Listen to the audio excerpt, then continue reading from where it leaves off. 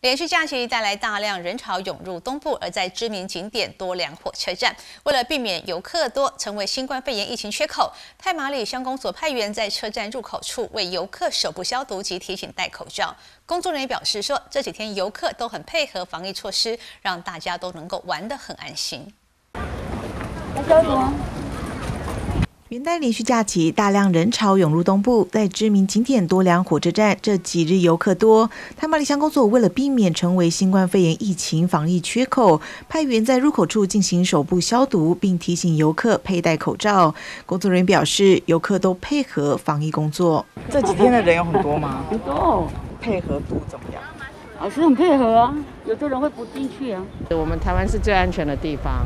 对，所以我看到大家都有戴口罩，都觉得很放心。嗯，就这样。所以也不会觉得说很麻烦。不会吧，都已经成习惯了，对啊，就是大家都这样做，其实就很就很习惯，也不会有什么不方便的感觉，对啊。虽然多良火车站属于户外空间，但避免人潮多，难以保持安全距离，因此还是要求游客戴上口罩，一起做好防疫生活。九江杰泰马里香报道。